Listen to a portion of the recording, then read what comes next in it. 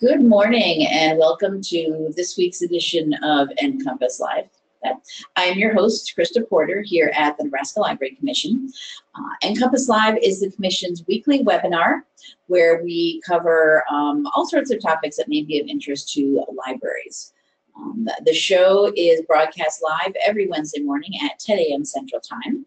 Um, but if you're unable to join us on Wednesday mornings, that's fine. We do record the show every week, and then it is posted to our website. And I'll show you where you can get all of our see our archives at the end of today's show. Um, both the live show and the recordings are free and open to anyone to watch. So please do share with your friends, neighbors, family, colleagues, anyone that you think may be interested in any of our topics. Uh, NCompass Live, this is the beginning of the 10th year of NCompass Live. So we do have a lot of archives. So I'll warn you right away, if you do go back and look at some of our old shows, um, you will find some um, outdated information, perhaps some old info. Um, but um, everything is dated, so you will know when these sessions were actually presented. But we, we are librarians, so we do save everything. It's archives. It's archiving for historical purposes. So um, keep that in mind. We are looking at our um, archives. Uh, we do a mixture of things here on NCompass Live, interviews, book reviews, demos, mini training sessions. Really our only criteria is that it is something library related, something libraries are doing, something we think they could be doing, um, programs and services that we offer here through the Nebraska Library Commission to libraries in our state. Um, and um, things that libraries are doing everywhere. We bring in guest speakers. Um, sometimes we have commission staff, and sometimes we have guest speakers from um, elsewhere in Nebraska or elsewhere in the country. Um, so we have a little bit of everything here on the show. Uh, this morning we have a mixture of presenters, guests, and commission staff. Um, right next to me is Holly Woldt, who is here from the Nebraska Library Commission. And over next to her is Tom Rolfes, who is from the Edu um, Nebraska Information Technology Commission. So two commissions, yeah. Um, and together, they and a few other staff here at the commission and at um, the Information Technology Commission have been working on um, a, prog a project um, that we're going to talk to you about today. Um, Nebraska Schools and Libraries Breaking the Ice and Igniting Internet Relationships. Um, it's a pretty uh, big project we're working on. Good opportunity for some libraries and schools in the state to get involved. And um, I'll just hand over to you guys to take it over and tell us, tell everybody about what we've been doing and what they might be able to do. Well, thank you, Kristen. Um, and so Tom and I are here just to uh, provide you with an overview of um, a grant that uh, we submitted a proposal that we submitted for funding uh, last week. And um, we're excited about this opportunity. And so today we'd like to tell you a little bit about the opportunity and how we came up, up with this idea and why we think it fits well for our rural communities, uh, schools, and li public libraries uh, to work in a partnership. And um, we're hoping that uh, you'll take an opportunity to take a look at the application and consider this as something that you can bring back as a, a library, public library director or staff and visit with your public school district and um, move forward with this opportunity. So anyway, a little bit more about the opportunity and about us. Again, um, Chris has already indicated where we come from, uh, Tom and I. And um, the, I'm excited about this because this is a, a, joint project that we're doing with the OCIO office. And um, it's just fun to work within the state system and try to make collaborative collaboration and resources and knowledge to work together. And the amount that we're uh, seeking out here, I know that sometimes if you look at our Library Commission grants, we have some pretty hefty ones. Oh, yeah. This one in particular not so is not so big. It's only $25,000, but I think as um, we explain more about it, you'll understand um, where this is coming from. And I think it's kind of a unique idea and appreciate the support of the IMLS to try out some new things um, related to collaboration and, and coming up with a new kind of uh, uh, ability to offer a new practice for libraries working, uh, public libraries working in all across the country. So uh, the funding request comes from the National Leadership Grant for Libraries, um, um, and it's anchor institutions, and it's called, uh, the category is called Sparks Grant. And so if you're looking at the um, PowerPoint here, it talks a little bit about what the Sparks Grant is, which is more, uh, again, it's an innovative type of uh, idea that we're testing out here. And so we're getting a little bit of money and we're getting a brief amount of time, really, to try to to try this out and see will this work or not. And so it's a prototype. More of a proof of concept. Right, exactly. Yeah. And so we're, we're looking forward to trying this out. Um, and, um, so again, we're, we're looking for, uh, some communities that are interested in doing this. And, uh, in particular, we have five public libraries and public school districts. We're looking to see if they are interested in providing faster internet at the public library.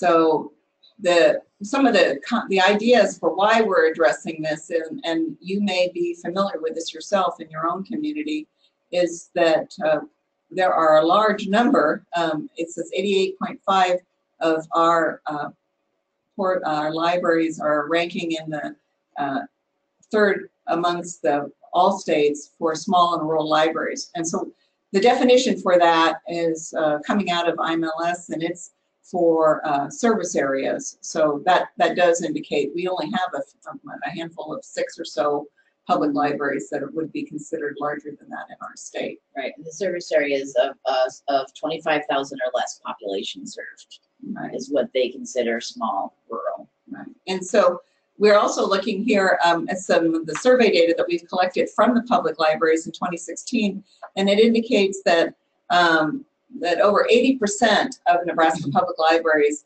um, have a service level that's below 25 megabits down and 30 megabits up for um, for a standard that they have in their library. And the broadband standard, right, Tom, at this point in time is considered by the FCC to be that 25. Correct, Holly. That's uh, actually a residential standard. So an individual's home, 25 meg down, 3 meg up, would qualify by definition as being broadband. So when we look at the public library, there's, there's a lot more, you know, Yeah, you people don't in there. wanna use your residential standards for your public library, we've got way more use, yeah. But what we realized is that even attaining that bar for all of our libraries would be a significant achievement Mhm, and being the new minimum. So uh, we'll introduce you to yet another commission, the Nebraska Public Service Commission uh, compiles data of broadband availability and also subscription around Nebraska. And we know that somewhere in the vicinity of 17% of all of our households do not have broadband that meet that definition. And then many of these underserved households are located in the state's rural areas. And we didn't write it here, but it's an additional statistic that would translate into almost 50,000 public school students who go home without significant internet. So that uh, helped provide the basis for why we wanted to do this grant. And then we also see that in, in most cases in the, these communities, and you may be very much aware of this too, that the only community internet, uh, Wi-Fi access, uh, that's free is at the public library. And so again, you know, we know that we see vehicles parked out in the parking lot and people that co- stop into the library that are traveling, but also, yeah, uh, oftentimes if, uh, we have in particular school age kids who after school need to find a place to go to do something that they are often at the library, whether they're doing uh, academics or they're just um, chilling with their friends, you know, it's, it is the place that they go to. And again, as we spoke before, the speeds are, are not um, at a level that can uh, provide, the, you know, for what the community needs during certain times of the day. And then the restriction we have with the, with public libraries is the fact that there's a limited amount of funds. And can you afford to pay for faster internet? And so that's another uh, focus area for us for a challenge.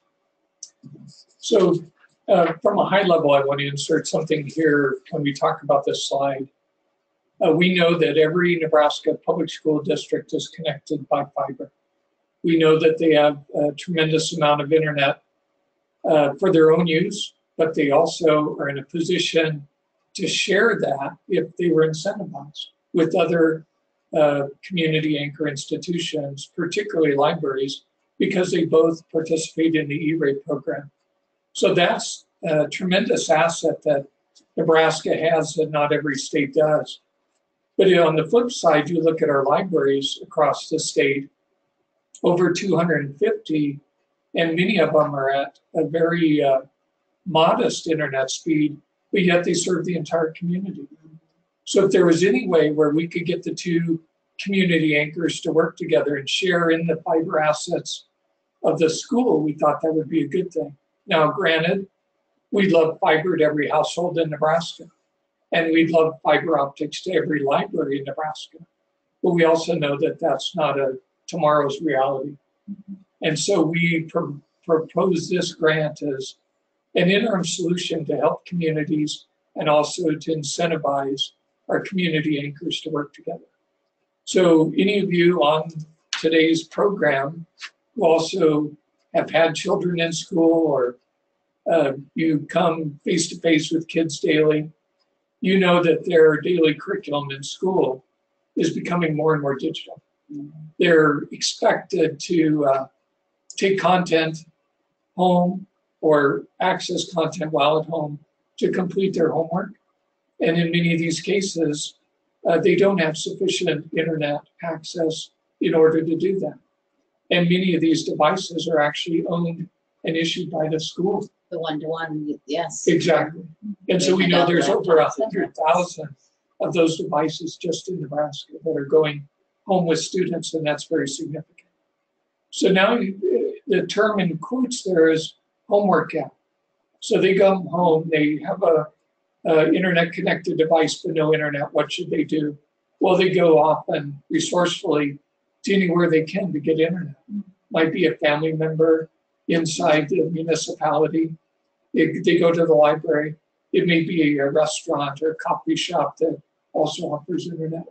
So they're without. And if they don't have removable media to take home, and many of these devices do not accommodate, they have to get internet one way or another. so we're thinking and propose that if the internet from the school could be dropped into the library, not only would it be a great demonstration project, but it could be speeds uh, many times faster than what the library currently has through their internet service provider. This is something I actually, um, another, um, thing that kids need access to the internet for. And this just came up when we had here, uh, snow days. Um, we had, um, blizzard warning here in, in, um, in Lincoln this early this week. And I had seen in other areas of the country, some people commenting online, um, the parents about a, um, even though it's a snow day, that doesn't mean no learning.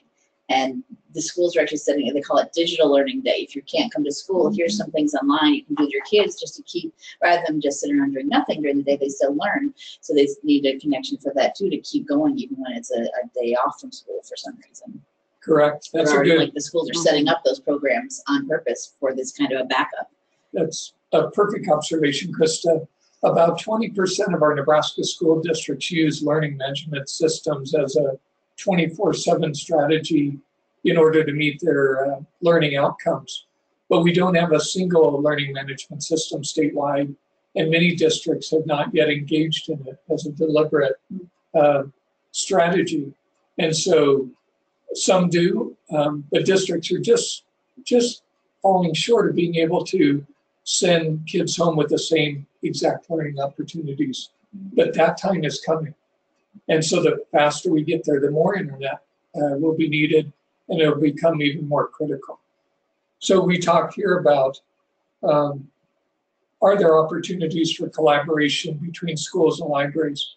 We think there are. Certainly that they both can participate in E-rate, but also they both have a, a learning, instructional, and information mission. And students often turn to the library as their place away from home and away from school to uh, to conduct their learning, uh, particularly in small groups. So when we're looking at this and talking, again, we know that Mhm. oftentimes it is stated that the library is uh, the only place for free Wi-Fi access in many rural communities. Um, But the idea here is that um, that you, we want to think about uh, the free Wi-Fi access is available at all times when the school is closed would be our model. Uh, potentially, I guess it would have to be an agreement with the school and with the library, but definitely after school to have the ability to to use a separate network to be able to have students and staff from the school district to be able to log on. Um, but we know that many of the libraries would not have adequate speed to service both the student population and the patrons in the community. And this may be another reason why potentially that sometimes we don't have to see students in some libraries because they've gone there and they don't they can't get the speed that they need to be able to do that work. So that they are turning to alternative places to do that. Um, and maybe even waiting till if they have a situation where their parents work in another community, they have to wait there to be picked up and they may not even be able to work on their homework necessarily at the library, but they go home and potentially they can, but by then it's after supper, it's late. You know, the mind isn't thinking homework anymore. So that's one thing that I, I think would be um, advantageous with the, the funding and- and the setup that we're talking about for this grant. Um, so, and again, we know that the speed is generally not met in the community itself, maybe even in the residential area, it's not available. And so when we talk about putting the school, school and the library partnership in, we know that the school district already has uh, at, at least that and much faster internet available to be provided to students during the day and hopefully potentially with this grant at the library and after hours or other hours that they agree upon.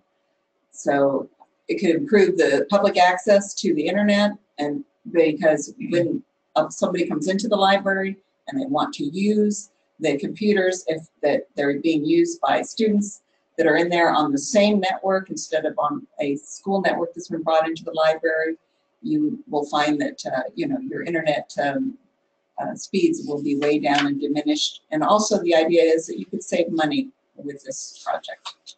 Exactly. On one of the earlier slides, we mentioned Network Nebraska, and anyone on today's program can go to www.networknebraska.net and find out more about the statewide network that serves all public school districts in Nebraska. It's probably lesser known that our statutory obligation or mission is to meet the demand of state government, local government, which includes libraries, as well as educational entities as defined. And by definition, that's public and private K-12 and public and private higher ed. So we could directly serve libraries uh, through Network Nebraska. Um, but we find that if they work together at a community basis with their school district, uh, their on-ramp to Network Nebraska would be less expensive and uh, ultimately could save money by their connection. So Network Nebraska's mission is faster internet, greater reliability, and lower costs.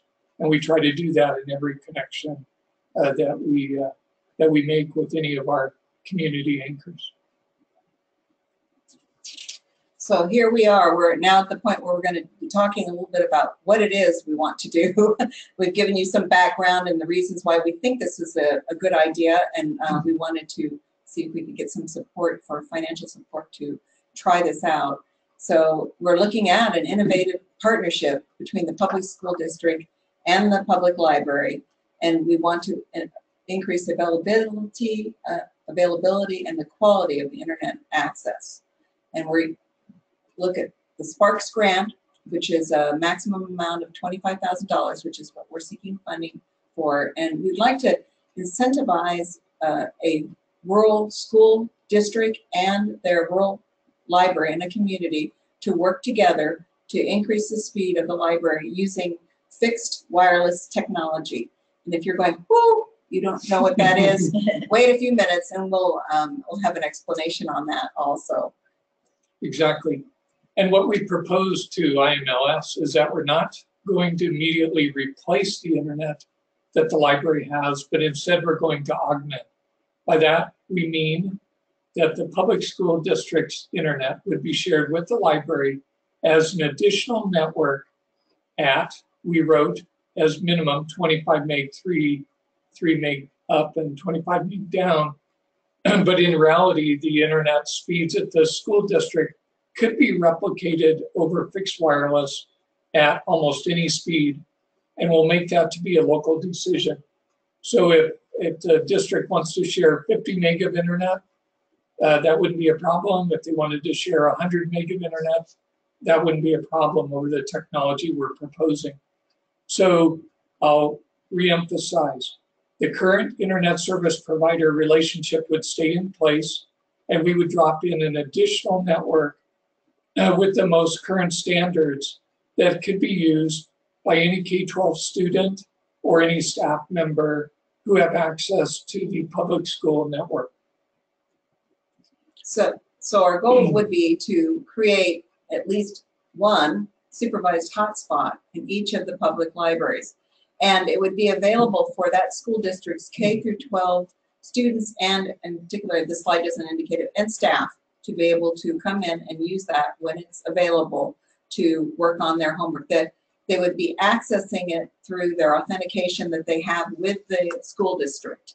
Um, and that would be something that would show up as a network uh, for in the library as Tom was talking about, it's an augmented or a secondary network. So when a patron would come in, they would see your current library network and then they would see another network, which would be the school network.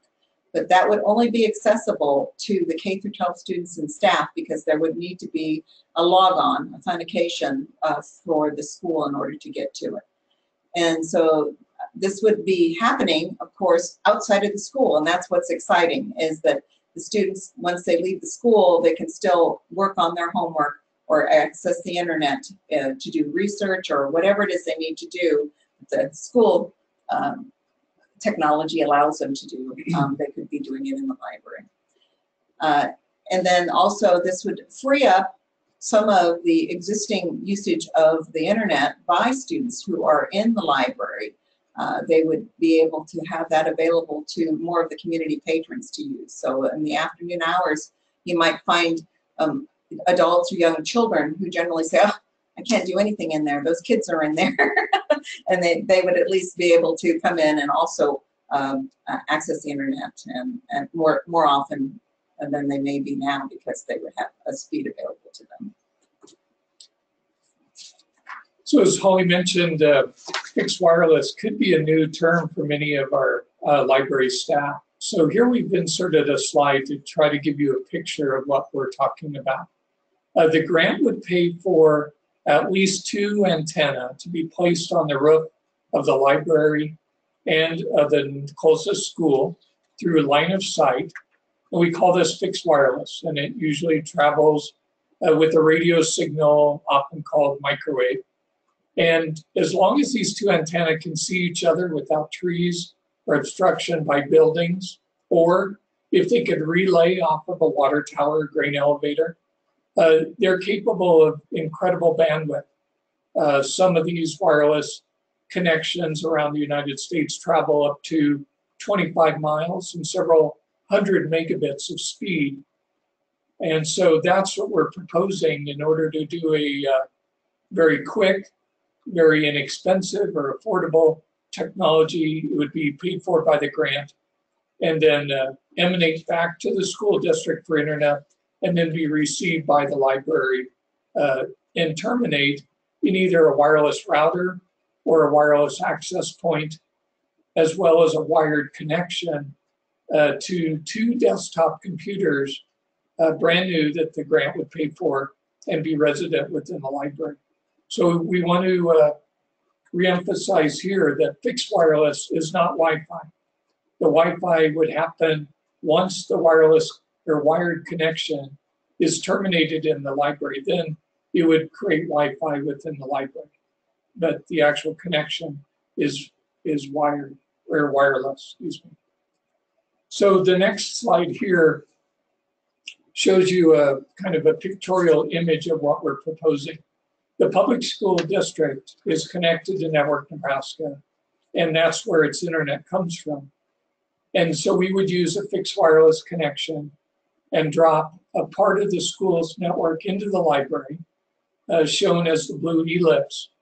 But the actual ISP internet in the red, excuse me, red rectangle would stay in place. So we would actually have a network within a network.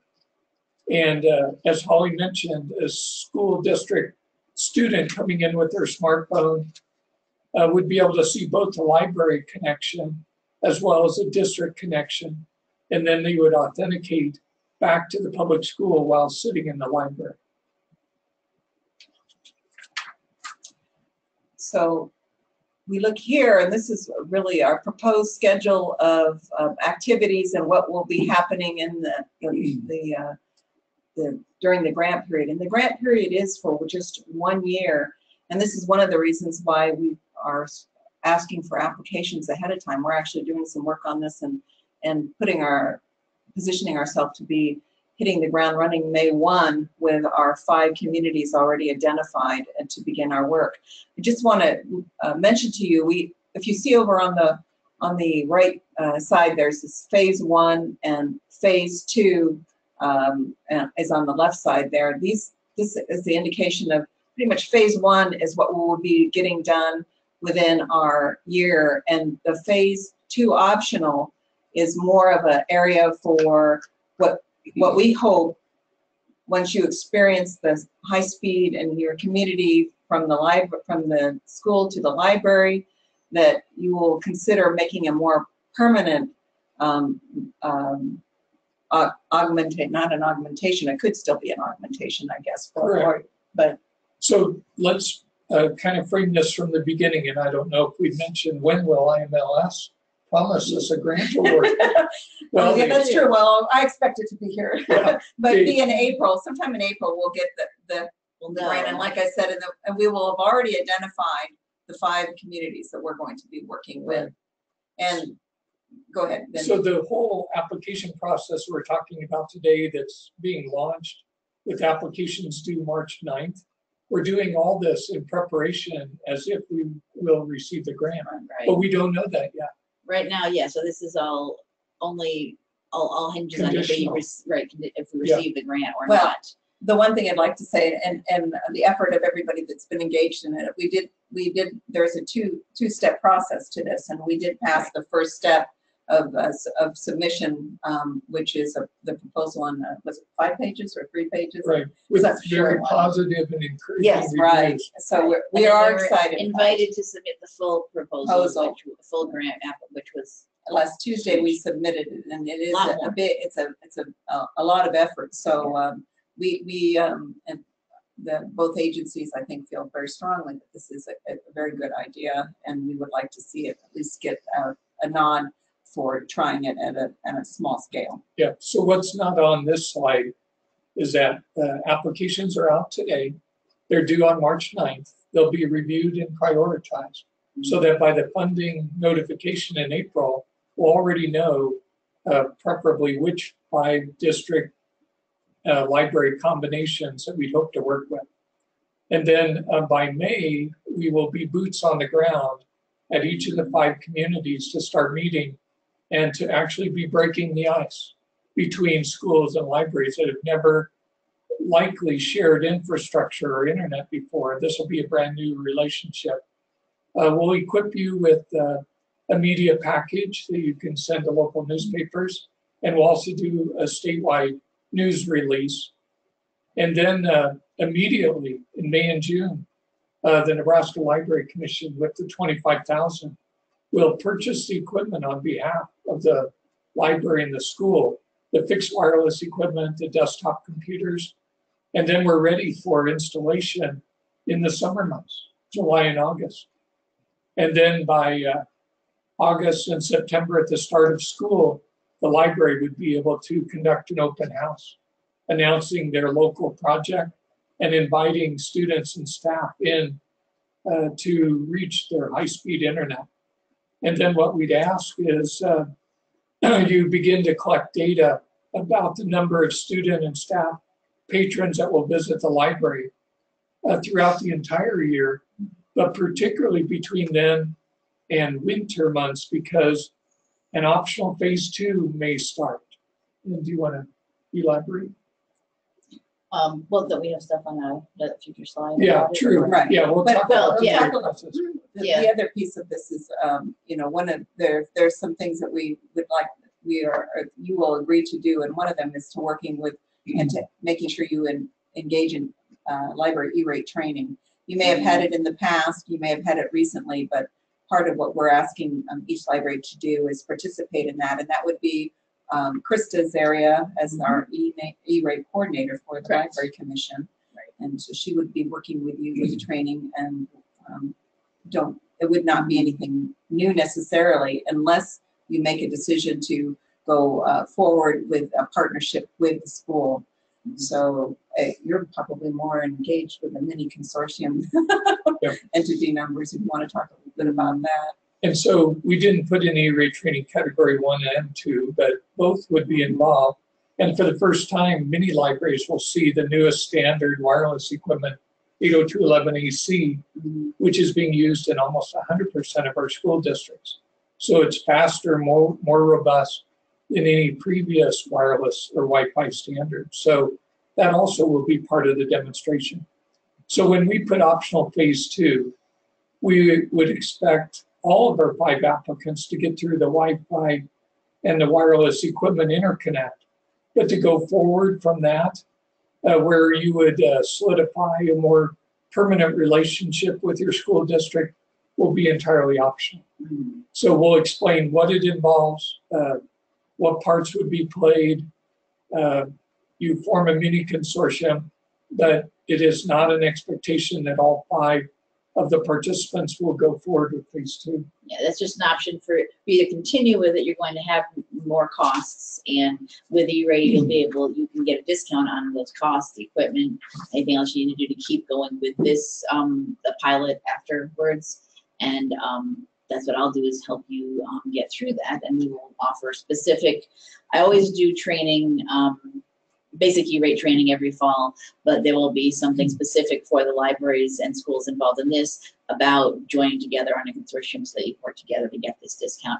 As we said, it's totally optional. but We'll, we'll be here for you to make, get that, make that happen. And, the- and then the other part of that is, you know, you would actually be working in the community or, or um, you would be um, asking for bids for whatever it is you need in that community to move forward for the phase two. So that's pretty exciting.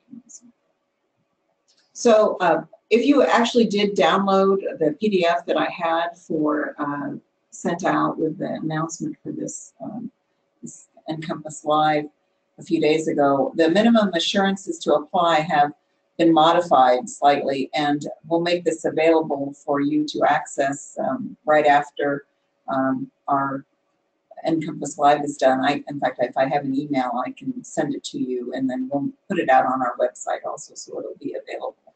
But these are, again, the minimum assurances that the library um, needs to provide, and you'll be the lead on this uh, as far as being able to submit an application versus an accredited library. And then the other piece about this is the library has to be um, within five miles of the school district, which is 60 to 70 blocks. And there's, as Tom was talking about when he was talking about the um, wireless um, It's fixed technology, wireless. fixed wireless technology, uh, the geographic and structural um, impediments between the library rooftop and the school district building rooftop. I don't think we're really going to be asking you to go up on the rooftop, but uh, No. I think don't that's Santa's job. that. But I, I think that, I think you'll understand that there, there'll be ways that you can, you can determine whether you're, you're in a good situation for that. And I can expand. Yeah, So there are limitations to fixed wire, wireless or microwave technologies. They do have to be line of sight. So uh, we know that this solution will not fit every community. Uh, 150 years ago, we were treeless, but because we're also the Nebraska Arbor Day. Foundation, Yes. we have That's lots changing. of trees in our communities. They're wonderful. Uh, but if you are obstructed between the rooftop of the library and the school, and you cannot see a community high point that'd be classified as a water tower or green elevator, common to both rooftops, then you're probably not a candidate for this project.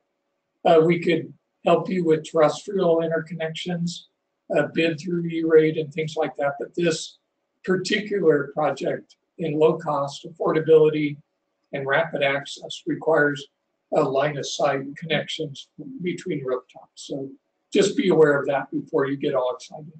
Or if it's just trees, that's something to consider in your, in, in applying. Is there something you're willing to trim? Cut down.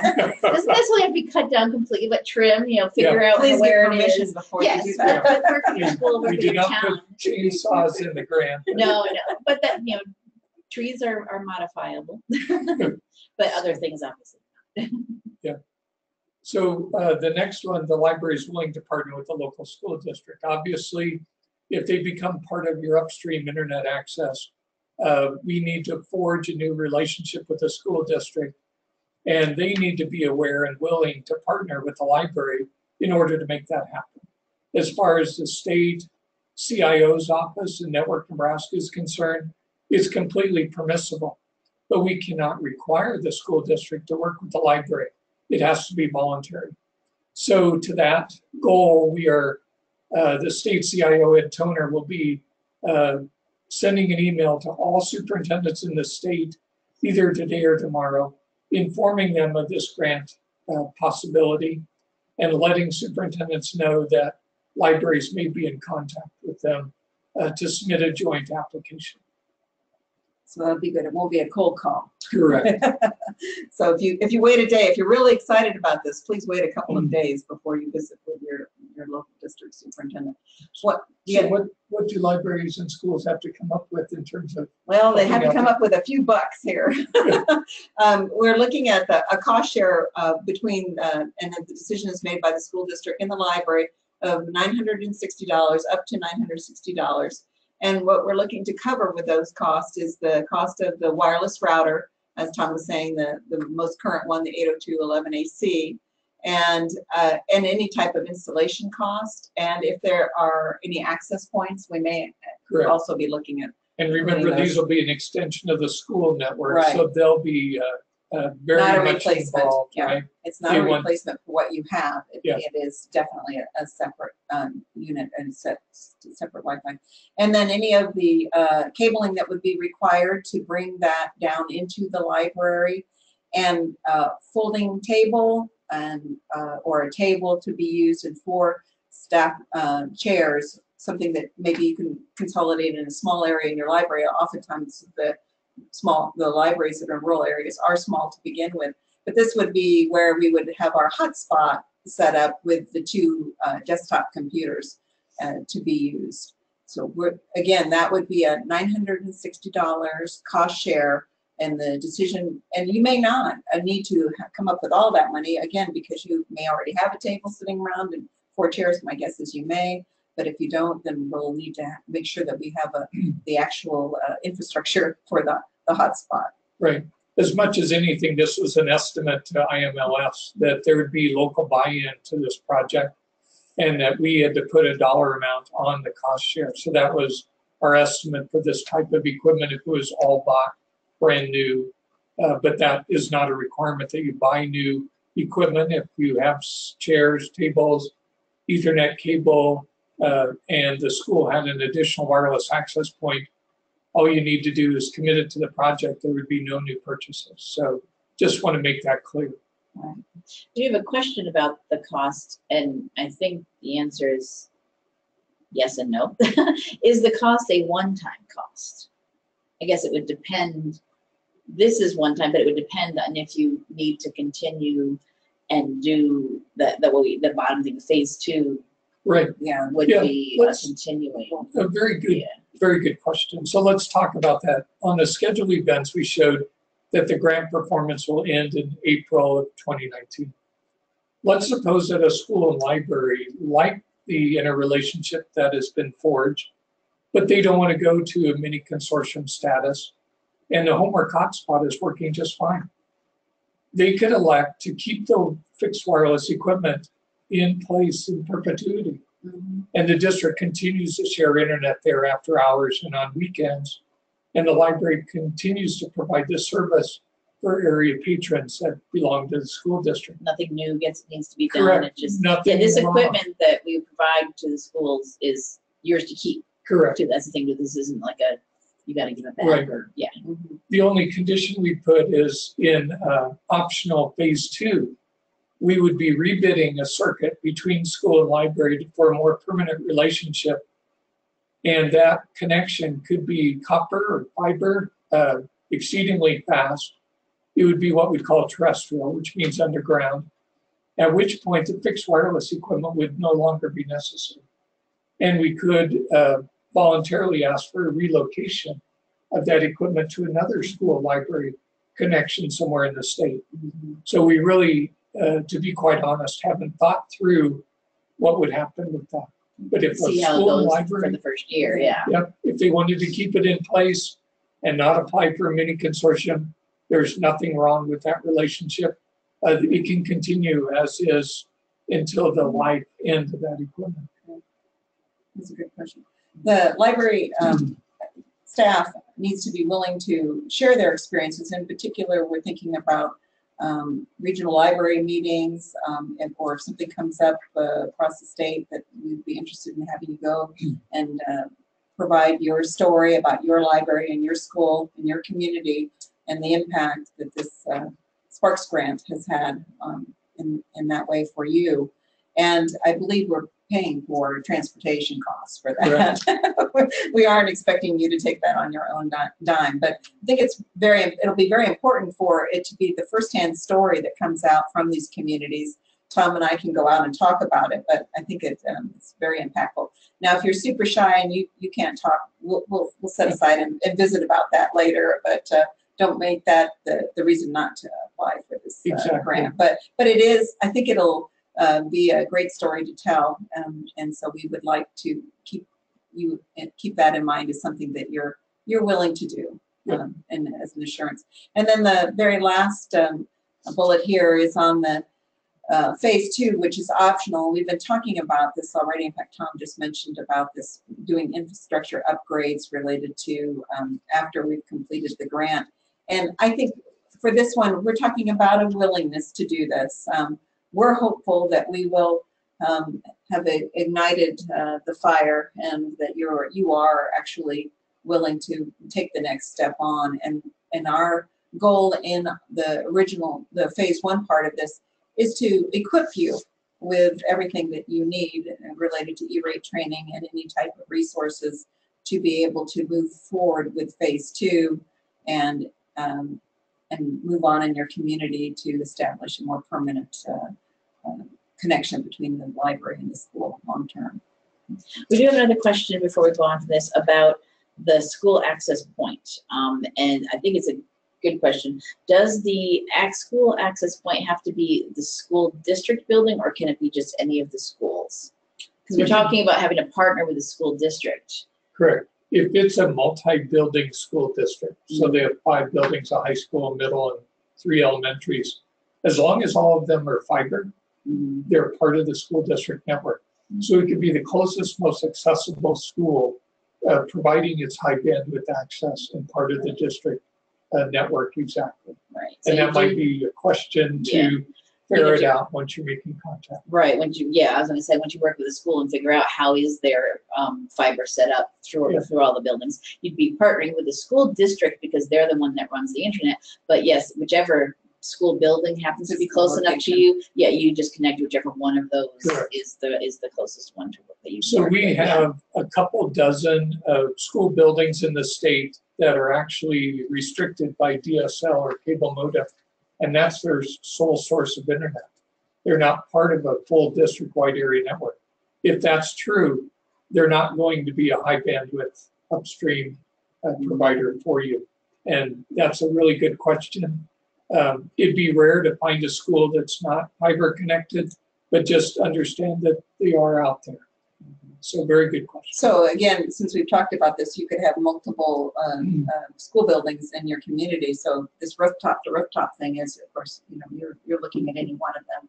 In a smaller community, you could be small enough that you meet the five mile uh, limit and you just, you just keep looking and find out who's ready to chop their trees. Um, Probably not known, but about two thirds of our Nebraska school districts out of 244 uh, reside within a single structure. Mhm. So that is so common in rural Nebraska. A K-12 building, uh, three actual schools, elementary, middle, and high, all within one building. Uh, tends to be a two-story or three-story structure, which is an advantage because it means the rooftop is higher. Uh, but that is so typical uh, in rural Nebraska if they haven't built a newer school. Uh, in my, in my community, I live just north of here, and we have, uh, we've maintained their two elementary schools in the small communities, and then they have the, the rural school, but my guess is they may not have fiber into the, Yeah. the small communities. So should we turn to the application or uh, the requirements? Sure. I do have one question. I'm just going to respond to you right away because it's an easy answer. Um, uh, they wonder if they have access to these PowerPoint slides. Yes. Um, at, at afterwards, when the recording is available to you, these slides will be posted online as well, so that you can see them um, and to share them. If they want to share it and show it to their school administration.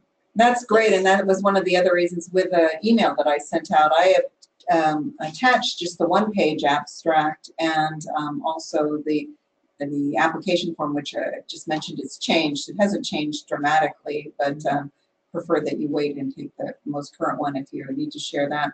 Um, I think we understand it's it's somewhat complicated to understand. And it. slides So- are really good to explain that. they, yes, so they explain it and it helps if you're talking about this i mean um, not to make it um, make you nervous about it but uh, the terminology is really important so i would encourage you to take the slideshow this uh, powerpoint and and provide it and also of course it'll this this will be archived and you will be able to actually see the, our presentation in a few days too if you wanted to share that as you went through to get more of the, the conversation that went on so So now we'll turn to the actual application process, which is available today.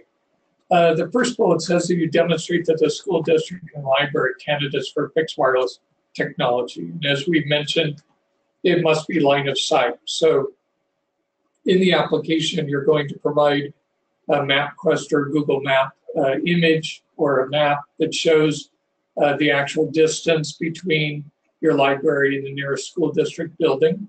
So that'll be helpful. Um, you may not have to climb up on top of the library roof, uh, but you should certainly know uh, that you're a candidate for a direct line of sight eligibility for the project. Second bullet says you include a letter of support from your school district superintendent. So uh, that is part of the application process. Uh, you'll need to uh, uh, create that relationship or uh, you know, forge that relationship, or maybe get the superintendent who you already know to write a letter because they're in agreement with what the grant is asking you to do. So Tom, they'll have to break the ice. Yes, that's, that's the point. If the ice is in existence, find a way to break it. And we think it'll be mutually beneficial as the project proceeds. The next one has to do with E-rate training, and Krista has talked about that. Uh, the phase two, which is optional, uh, would require a new billed entity number for the school and the library to work together. And uh, that's uh, optional, but it would also make eligible for category one the wired infrastructure between school and library, which would be a more permanent relationship. And so also, again, we mentioned this before, uh, that we're asking for a cost share or, or your, you- uh, your, your, your skin in it for up to nine hundred and sixty dollars. And and that was basically what we had to put into the budget to submit the grant. And we're not sure if that will be the amount of money, so certainly, um, we can, as we get closer in and we're actually, you know, working with the five communities, I, I honestly believe it will change. Um, so, and then complete the uh, application fully by March 9th and submit it to us. That would be our, um, that is our, our, our timeline and our date for submission. Exactly. When you open the application, you'll see other questions about uh, what's your level of E-rate participation currently? Um, do you see student usage of the library after school and weekends? And so you'll answer these other uh, informational and demographic questions as part of the application. So that concludes our part of the presentation. And if you have any questions, continue to type them in. Yeah, if you have any other questions, I'm monitoring them here, and I think there was one, oh, Someone did want to know if this would be, potentially be a grant that would be, um, that we would do again in the future. That's, We're that's, still trying to get this one done, but, well, um, that's the idea yeah. of the Sparks grant though, is that we, you know, we, we've discussed this too, that it's a, this is a, a smaller amount of money. and We would certainly be hopeful if it's successful and we see this, that we would, uh, for sure apply for a larger amount. We should mention that right. uh, this grant concept is already attracting national attention. And there are some folks at the national level who would have urged a much larger and uh, more aggressive. Yeah, they think we're not going far enough. Yeah. Even for this first trial. So they wanted us to uh, apply for hundreds of thousands of dollars on an untested concept. So that's the point of Sparks Grant is We're to try out something that's new, untried and, un- and somewhat risky in that not everybody would participate or maybe the relationship uh, does not, or is not going to be as productive as we thought it might. But certainly if we do have success in the 2018 and 19 grant year, that it could be followed by much larger, more ambitious uh, grant application to follow. So the, the five communities, or if you're, if, and of course, if you're interested in making an application, um, you're going to be the pioneers. Um, and, you know, as, as Tom's talking about this, I think sometimes it's, um, you know, you, you want to see a little success before you, you put your, your uh, boots into it. And so, so this is why we're asking for a few, a few communities to come forward and try this out. We, we honestly feel this is a, is a great partnership that has not been utilized before, and we're really excited about it. So we, we know that the internet and, um, is basically, it has become the foundation in your public library for mu- much of what you can do and what you can offer in your community.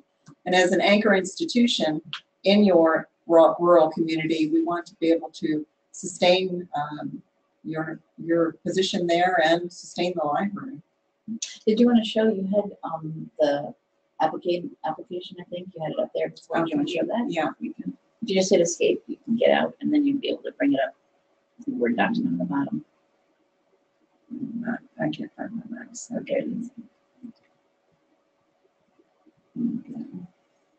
So basically, um, if you, you did receive this um, as an attachment potentially, and so we just, again, this is also very good to take with you as you're visiting about it, uh, so people can understand there's some background information. This will be made available to you if it hasn't already later. Yeah, the, the updated one, that, Yeah. and this is, this is the current assurances that we have. This is the only piece that was modified. And then here are the series of questions, and they're all pretty easy to answer. Um, take up as much room as you need. If you feel like you need more space, and go for it. It's uh just a very um, informal, but uh, we do want all the questions answered. And if you need any help with any of these uh, related to your E-rate participation, if you're a new library director, uh, you can call. Tech, uh, yeah, to you or, Yes. or I was, okay, there we go, Krista. I was gonna volunteer Sam Shaw too, but I guess that would be, we'll go with Krista. I think it'd be great, at least you can introduce yourselves to each other. Um, and so a little bit more about, uh, what, what's happening in your, um, school district, if you know about it. You may need to make some inquiries about that also. Did you have anything you wanted to add? No, but uh, we're getting to the end of our time. We want to thank everyone Yeah. for joining us today on this program. Uh, We sincerely encourage applications. Yeah, I just wanted to mention that one, another place where the, the project timeline is, and, and this would be also nice to be able to take along with you as you're discussing it with folks. So so we did have an at link on here, so this will be the newer one. We'll update this. Um, yeah, Okay. Yeah. and then I think if we, if, if we have your email, if we can find it, I'll go ahead and just send you an email with that application today also.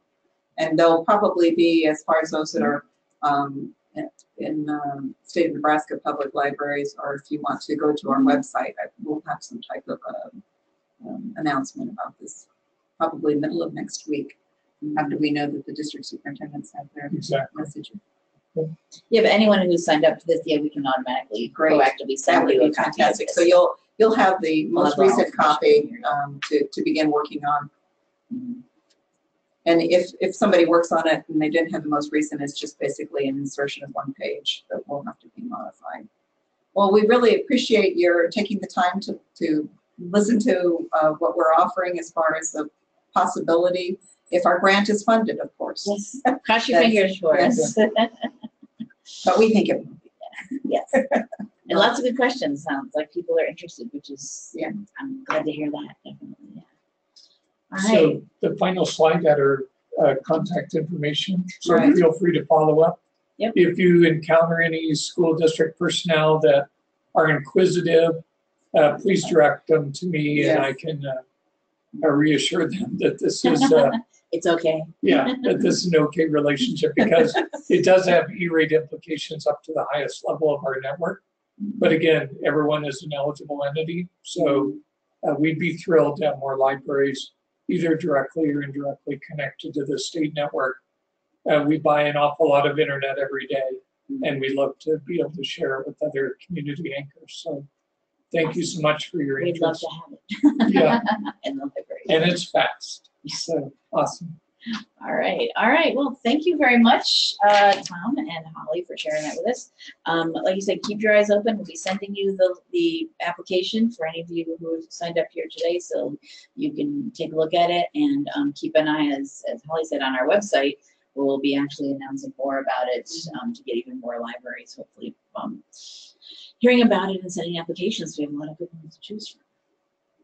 And, and yes, send good thoughts about, guess, us. I guess one more thing I thought about is one of the reasons why the, we, we have a full month of February. So if you are going to take action and you're interested in this, one of the big pieces of that is that you, if you're having to go before some kind of board meeting or anything that relates to that in your communities, you want to be sensitive to that and looking at your calendar right now and making sure you get uh, this, this uh, item put on the agendas of anything that needs to be done. So that's kind of why give we you a left lot of time Yeah, we that, left you yeah. the, the whole month of February to get yourself scheduled, we hope. All right, thank you very much, and thank you everyone attending.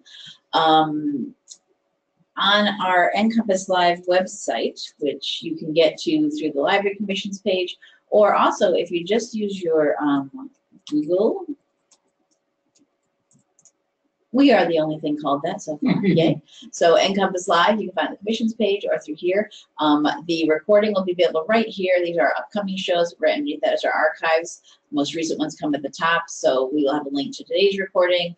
The slides will be available here, the application will be available here. We'll also be emailing you proactively the application form as well. Um, so look for it there. Um, later this afternoon, I'll send out an email to you all so you'll know when the um, recording is available and up there. We should mention, if you're new to this concept, there's an archive presentation, next best thing to having your own That's true, yes, we did do um, gigabit something about internet this through December previously, yeah. 27th.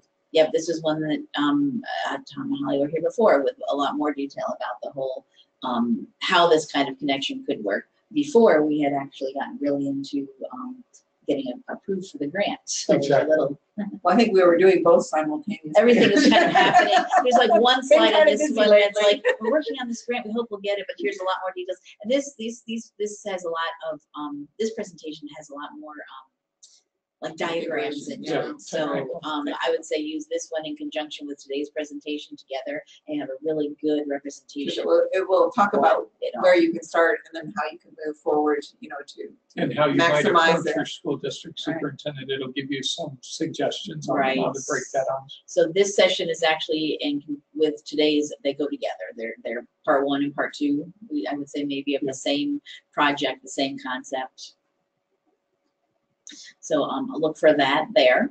Um, so that will wrap it up for today's show and recording. Um, I hope you join us next week. Our topic is the Innovation in Libraries Awesome Foundation chapter, which sounds it's really cool. Um, this is a um, the Awesome Foundation is a group that does lets any sort of organization set up um, chapters where they can provide grants to any sort of organizations, wh- whoever they're involved in. And there is a libraries one about innovation in libraries um, here. So if you are interested in doing something new, prototype something, prototyping something, like what we're doing. I know, it's interesting. Kind of related, yeah. we should check that out. Um, they have grants available on a regular basis. Um, I believe they started just last year, uh, but don't quote me on that or the year before. So, um, some people who are involved in that, and these are people at libraries all across the country in groups together to provide this, um, this uh, chapter of um, providing grants. So sign up for that sec, uh, presentation next week. Um, also, any of our other shows coming up, and NCompass Live is on Facebook. We've got a like our page here. If you're a big Facebook user, give us a like over there. We post notifications. There's a notice about logging in for today's show. When our recordings are available, any new topics that come up, I post them here. Um, so please do give us a like over there if you are big on Facebook to keep up with us. Other than that, that wraps it up this morning. Thank you. Thanks, Thank you everyone you. for attending. Um, and we'll see you next time at NCompass Live. Bye-bye.